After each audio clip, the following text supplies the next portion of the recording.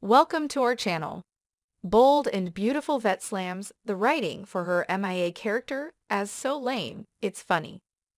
Bold and beautiful viewers who raised their eyebrows at Kristen and Co.'s absence when Dad Eric needed them most were not alone. Turns out Tracy Lindsey Melchior, who's played the character off and on since 2001, did the same thing. It is so lame, it's funny, she Instagrammed, not agreeing with how they are writing Kristen. She had a very good relationship with her dad and would be there. She had a colorful relationship with her mom Stephanie, she added, and came back for her in the end.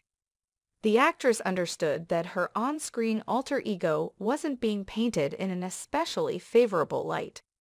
They're making my character look awful, she said. Kristen is not there for my son ever, now not there for my dad.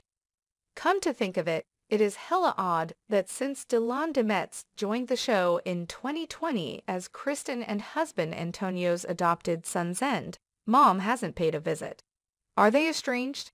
Are they plotting behind the scenes to steal Forrester Creations out from under Ridge? We'd have no idea. As it is, Melchior isn't crazy about Ridge making the decision about whether or not to pull the plug on their dad. The dressmaker has Eric's medical power of attorney. I think all of us siblings should be discussing, she said.